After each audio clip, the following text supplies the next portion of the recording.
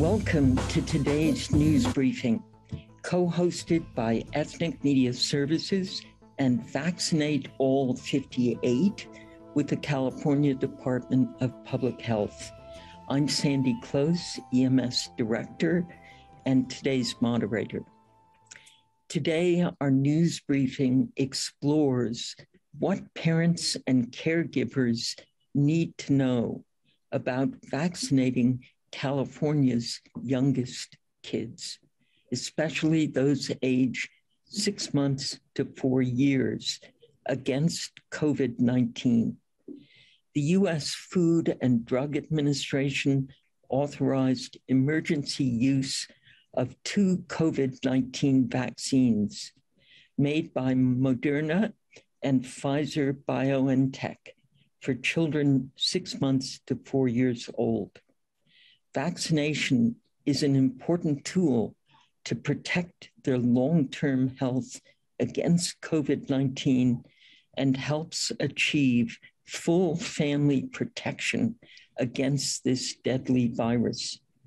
The approval comes on the heels of news that COVID 19 is now the fifth leading cause of death in children one to four years old, and the fourth leading cause of death in children younger than one. Sobering statistics for all of us. Our speakers include Dr. Lucia Abascal with the California Department of Public Health. So we begin. Welcome, Dr. Lucia Abascal. Thank you. Hi, good morning. Thank you, Sandy, for that introduction. Uh, I'm very happy to be with all of you. As Sandy mentioned, I am with uh, the California Department of Public Health. I also work at UCSF as a global health researcher focusing on vaccine uptake. Um, and my eight, 19 month old daughter uh, just go, got COVID two weeks ago. I've been waiting for two. I mean, I was pregnant when the pandemic started. I've been waiting for that vaccine all this time, and she tested positive. But I guess that's how these things are. And in our case, she did transmit the virus both to my husband and I, and I am uh, 32 weeks pregnant. so that was I mean, I was being extra careful myself, but well, uh, just like a heads up of the situation we're looking, we're living right now. We've seen an increase in cases in California. I mean, globally, but in California, seems to be get flattening out, but we're still seeing uh, in some uh, spaces a lot of cases. This is due to the highly contagious Omicron sub subvariants that have been circulating. So there is definitely still a need for vaccinations for the whole population, but now we have a new population that has the vaccine available for them. This is very important. There's this idea um, that Omicron is milder, but if we look at children's at children data in this age group, we can actually see that hospitalizations peaked the record uh, in January, February, when the Omicron surge started for this uh, group, as well as deaths. So, definitely, there is a need to vaccinate young kids. The misconception that kids are safe, that nothing happens to kids, is wrong. We have more and more evidence that kids are at an acute risk of being hospitalized for COVID. We've definitely seen some deaths Kids can also suffer from like midterm consequences, such as multi-inflammatory um, syndrome in, in children, and long COVID has also been reported in kids. So there's definitely a need to protect these young kids. We also know that even though uh, people can get COVID vaccinated, as we've seen in adults, uh, you can also get them in children but protection for severe disease is there. And that's what we saw uh, with the FDA's authorization. So uh, just going over a little bit of, uh, of what the, the steps for the approval were. Um, we had an, an independent expert panel that went over the data that both Moderna and Pfizer submitted. They are expert in these uh, topics. They're, they don't, they're not government workers, so that's why it's called an independent panel. They went over the data and they all voted unanimously. They all voted uh, to recommend that the FDA approved uh, the vaccine. After that, we had a big FDA meeting where they went over everything. That is public data. You can go over the slides that were presented. You can go over the data. This is uh, to create trust, to create transparency. Uh, similarly to the independent panel, they all approved the vaccine. Why? Because the vaccine uh, was shown to be effective. The number, the efficacy numbers we were shown in that meeting, uh, even though weren't as high as what we saw when the adult vaccine was approved uh, two years ago, well, no, sorry, like one year ago for the adults vaccine, we we did see efficacy that was expected with the subvariants that are circulating now, right? So we know that the vaccine works. And another thing that was presented was the safety profile of both vaccines. And we were shown that both vaccines were safe. Okay. So after the FDA approved this, then the decision jumps to the CDC right? So the CDC then makes a public health recommendations from the federal level to states to, uh, and they approved it as well. Now, going down to California. So I just wanted to show you all the steps that go into the approval of the vaccines. So then that when the CDC makes the recommendation, approves the vaccine, uh, California goes over the data and as and with the neighboring states, they decided that it was the best for children in California to get the vaccine. So, what is going to happen uh, with the deployment of the vaccines in the states? We knew this, this was happening. We weren't sure when, but California knew this was happening. So, a while back, the state started working directly with pediatricians for them to get enrolled in a program to receive the doses they might need. So with this program, the state enrolled um, a lot of pediatricians that actually cover around 85% of the state's children. It gets a little bit tricky with younger children. Why? Because adults can get a COVID vaccine at the pharmacy, right? But federal regulations don't allow pharmacies to vaccinate children under three. So we have in this population a small group that will be able to be vaccinated at the pharmacy, but we have the bigger group between six months and three years that will need to go either directly to their pediatrician or uh, small community clinics that will be set up depending on the county uh, where, their, where, where children uh, live. So it will be very important that parents reach out to their care providers uh, for this because we don't have either the mass vaccination sites, and we don't have uh, this big access with pharmacies. The state has purchased enough vaccines for every child in California, and they will start coming in batches. So by this week, we're expected to receive around half a million uh, vaccines, um, which will start um, vaccinated, vaccinating children. So we are um, expectant. We haven't seen the uptake in older kids that we would want to see. Uh, we there's a lot of work to do informing parents, really getting them to understand the need that exists for this vaccine. So that's very important. And in terms of what vaccines will be offered, this will also be different to what we've seen with other older groups of children. Why? Because both Moderna and Pfizer will be available for, for children since the beginning. What will be different? So this can also be tricky and confusing to parents, but we have two vaccines, both Moderna and Pfizer. The Moderna is a two dose, just like adults. The first vaccination um, schedule is two doses with a month in the middle. Then we have the Pfizer. So Pfizer is actually three smaller doses. And that's why the Pfizer data took a little bit longer to come in. So what is the timing for those vaccines? So for, for Moderna, we have the first dose, dose, then a month, and then the second dose. So we would expect children to be fully vaccinated two weeks after their second dose. That is uh, compared to Pfizer, which will take a little bit longer. We'll have the first dose, then 21 days later, children can get their second dose, and then 60 days later, children can get their third dose. So this um, schedule of vaccination might take, might take, not might, but takes longer than the Moderna. So some parents might prefer to go with a faster uh, effectiveness compared to the slower one. But uh, why is this? Moderna uses a bit of a stronger dose. So the Moderna uh, vaccines are one fourth of the adult dose. The Pfizer vaccines are one tenth. So you, you can see how Moderna is a, a higher a higher dose than the, the Pfizer one. Both are very safe, but uh, a little bit of like stronger side immediate side effects were seen with the Moderna. What do I mean with that? Children presented a little bit more fever and a little bit more um, irritability after the Moderna vaccines than the Pfizer.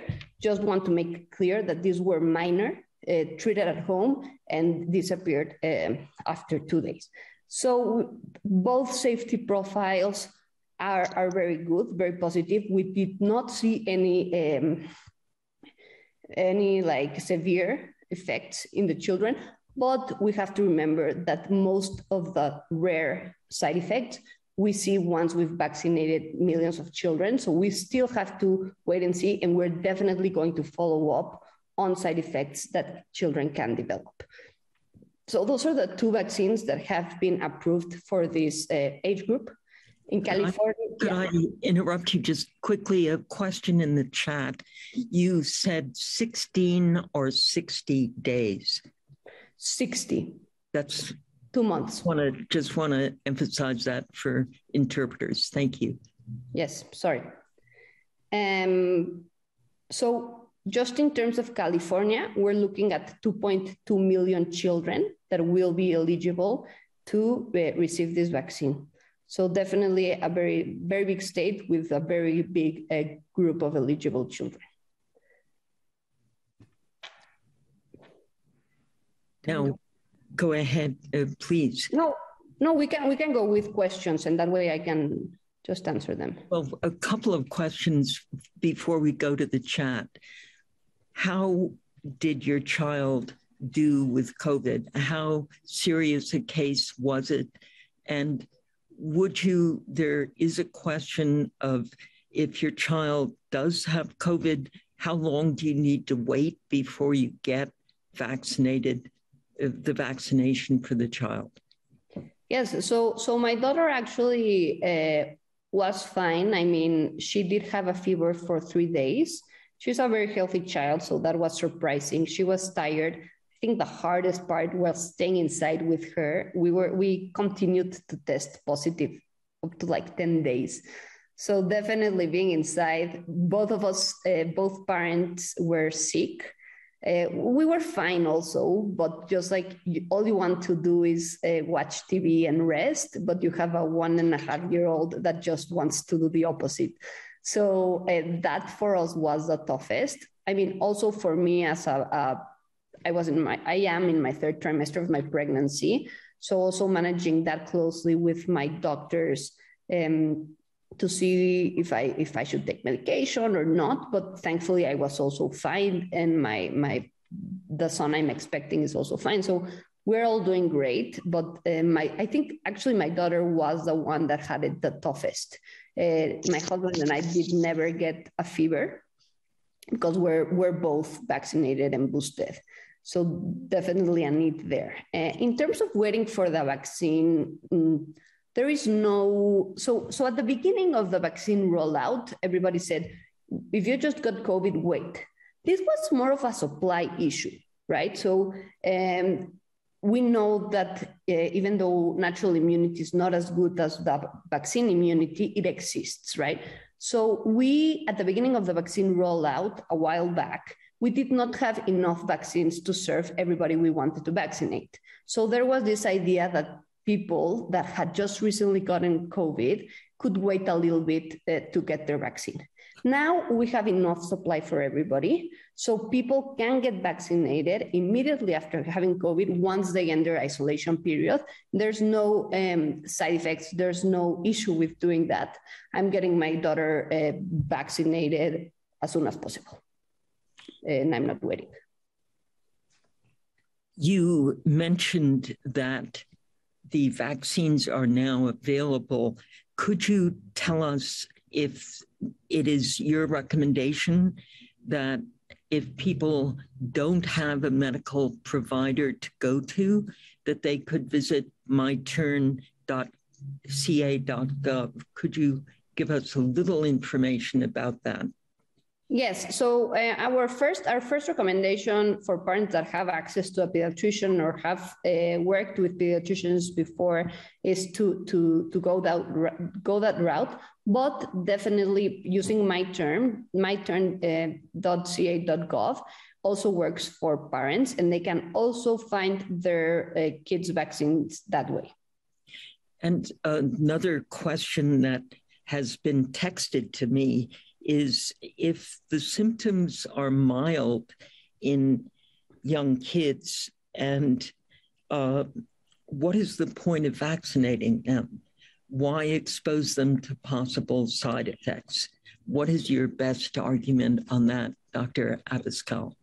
Well, first, I would ask them to define mild, right? I mean, I definitely say that my child got a mild infection. She was still in bed three days with a fever which is, I think, more than I would expect after the vaccine. Uh, she also transmitted the disease to me and to my husband, right? So, I mean, that's a risk I did not want to take. A lot of we have a lot of families. I am I am Mexican, and uh, in our community we have a lot of multi generational families. So this time, my daughter infected both healthy adults, but there's a lot of grandparents that also live with children right? And that's that's another risk we have to consider because vaccines vaccines serve different functions. The first one is to protect oneself right? So uh, even if it's not a perfect protection there's there's protection against getting infected. So you do slash that out. We actually saw that with moderna uh, with the vaccine in these kids, that's around 30 to 50% reduced infection. Uh, with Pfizer, their reported their reported data is up to 80% after the third dose. So there's definitely a, a, smaller probability of getting infected, right? So that's the first step. Then, if we do get infected, which could definitely happen, we have a way, way lower probability of ending in the hospital we end up in the hospital, a lower probability of ending at the, in the ICU. We end up in the ICU, a lower probability of, of death. So we, we see benefits in all of the steps um, uh, of the disease, right? Then, so it protects oneself, it protects others in our household, it protects others in our community, right? My, my daughter got infected at daycare right? So we have there a cluster of children, and this is happening in their households as well. I know that other parents in my uh, daughter's classroom also got infected, right? So if we slash the probability of children getting sick, we slash the probability of these clusters happening. And then lastly, we have the global idea, right? So if more people have immunity because of vaccines, we um, we make uh, COVID cases less explosive. We um, also, mm, so variants, we also fight against the emergence of new variants that happen because the virus is not uh, pressured by the immune system. So we, we do see a lot of benefits of infecting, uh, of vaccinating, sorry, uh, children, but everybody as well. Also, we know that even children with mild infections, even children with asymptomatic infections, are at risk of developing a multi-inflammatory um, syndrome in children. That's a, a, disease that can make them go to the hospital. All of their body, all of their organs get uh, inflamed because of an exaggerating immune response. And similarly, uh, children with mild infections can also have long COVID. We have, even if it's not great data, and we have a, we have seen a little, uh, very different numbers we have seen evidence that vaccines do reduce the risk of long COVID. So definitely, even if it's a mild case, we should um, we should vaccinate. And then, in terms of reinfection, we've seen that vaccines hold up way better against new variants and subvariants than natural immunity. Even though the body does create immunity after being exposed to COVID, this is very dependent on the person's immune system. But vaccines create a stronger and better immune response that can protect against different variants. And this is something we don't see as strong as with uh, natural immunity. And a mild case can have a mild immune response. So even if your child uh, has a mild case, vaccines will build up the better response. Actually, and Moderna did show the data comparing natural immunity and, and vaccination. We saw that vaccination did create a bigger immune response. And then they compared that to children that had been previously infected and gotten a vaccine. And children that had been previously infected and got, it the, and got the vaccine were actually the most protected group.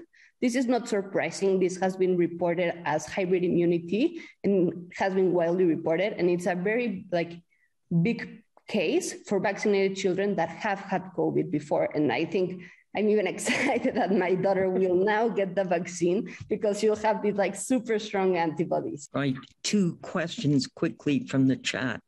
Myocarditis. You referenced myocarditis.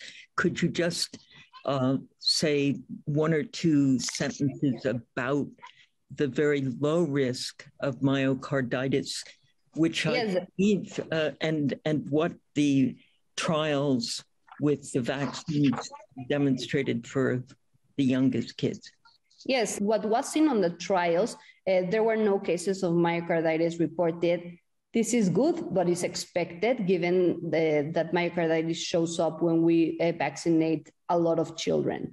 Uh, what we've seen, what has emerged in population based studies, not only in the US, but worldwide, is that myocarditis affects younger, uh, older children, right? So up, uh, from 16 and up. And it seems to be a mixture of hormones and the vaccine. So it's really not a risk expected in this population, but we have to wait and see what the follow up as we uh, ramp up vaccination is.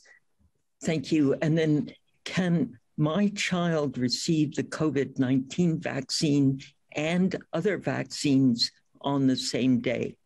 Yes, uh, they can get vaccinated. There's no interference. Uh, Aaliyah Lee asks, and this again goes to the choice between Moderna and uh, Pfizer. My child is 18 months old. Is it? Is there a preference depending on age for uh, three doses versus two doses, or does it come down to whatever is available. Uh, Dr. Abascal. I think what is available will be the best. Uh, just to add something uh, on the Moderna vaccine, we we also expect that to have a booster, uh, just as we we've had with other vaccines. So eventually, that will also be three doses, uh, even if it takes a little bit longer. That's what it looks like. And so, so I think it it really depends on what's available and what kind of like do you want if you have both options like do you prefer to wait but get maybe lower uh, immediate side effects even though we don't expect anything severe from any or just uh, get get moderna I, I, think i have moderna available at my pediatrician's uh, office as well and i think i'm going to to do that with my daughter just to get her vaccinated. But I mean, both vaccines, and we have data on other age groups for the Pfizer vaccines, and and we know that it works and that it's safe. So I think uh, we have enough data to like confidently say it's okay. Like you you can't go wrong, and I think that's the message we also say to adults, right? Like both Moderna and Pfizer are are equal, so you, you can't go wrong. And the all of us are storytellers. Most of us serve communities that disproportionately were impacted by the pandemic. Gradually, the vaccination rates for Black, Latino, and Asian and Native peoples, peoples of color, have risen at a par, and even in some areas, more higher rates of vaccination uh, than their white Caucasian counterparts. But will this be true for children? And I guess, what is your message for communities of color, parents of color, and their children? Yes, I, I think this is a message I usually give to my Spanish speaking uh, public I speak with, uh, but I think it, it applies to all like racial and ethnic minorities, is that we know COVID has disproportionately affected these groups. We know that. But we now have a chance to turn the table and really have a tool that can help us reverse that. So it's on us uh, as, as, I mean, as CDPH, as, as a public health agency, but also as parents to take that decision. We always want to make the right decision for our children.